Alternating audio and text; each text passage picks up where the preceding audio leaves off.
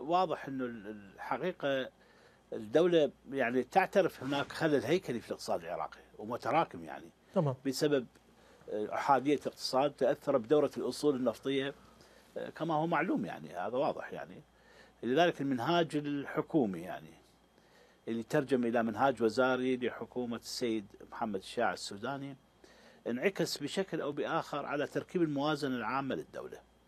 والحقيقة هذه الموازنة بالرغم من كل الجدل الكبير جدل محترم بالحقيقة أقدره لكن وضعت مصدات بالحقيقة، وضعت مصدات مهمة لاستدامة التنمية واستدامة حركة الاقتصاد العراقي. واحدة من هذه المصدات هو اعتماد صناديق تنمية لأول مرة يعني. يعني هذه الصناديق بها استدامة بالحقيقة في توجيه النشاط الاقتصادي خلق نوع من التنويع تصدي للمشاريع الاستراتيجية الخدمية.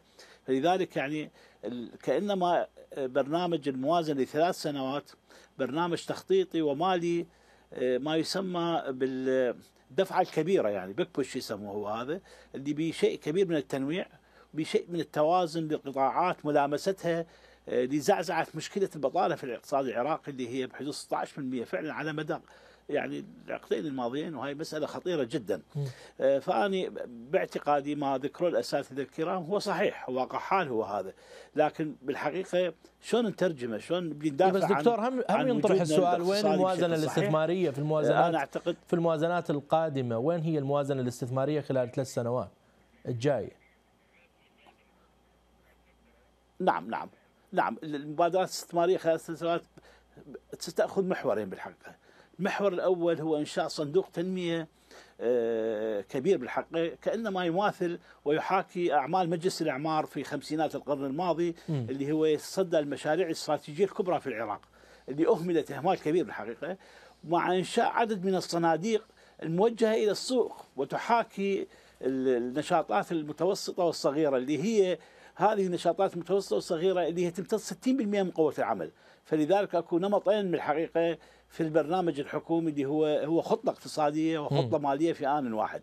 فما ذكروا الأساتذة الكرام صحيح لكن اليوم إحنا حياة العراق في الثلاث سنوات القادمة متوقفة على هذا البرنامج بالحقيقة هذا البرنامج سيتلقى الدعم الدولي بالتأكيد. يعني ما ذكر معالي محافظ البنك المركزي من علاقات مع الصندوق والبنك الدولي اللي تعرف إحنا علاقاتنا ب 79 سنة يعني 80 سنة إلا سنة.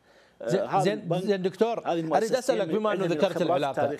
دكتور, دكتور مظهر أعذرني المقاطعة. بما أنه ذكرت 79 سنة أريد أسأل في نعم. كلمة بداية اللقاء ويا الدكتور عادها أكثر من مرة وياي وهي كلمة انقطاع كان يقول انقطاع البرامج المتكاملة ويا البنك الدولي.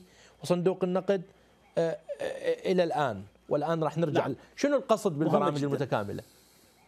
نعم نعم الان طبعا عايش معظم البرامج هي خمسة أو ستة يعني بالتأكيد يعني بدأ أول برنامج بعد 2003 هو البرنامج الدعم الطارئ بالحقيقة لبلدان ما بعد الصراعات. م. وهذا هو صندوق ساعدنا بشطب 80% بالحقيقة من ديون العراق طبعا. في اتفاقيه نادي باريس بعدها صارت اتفاقيات استعداد ائتماني.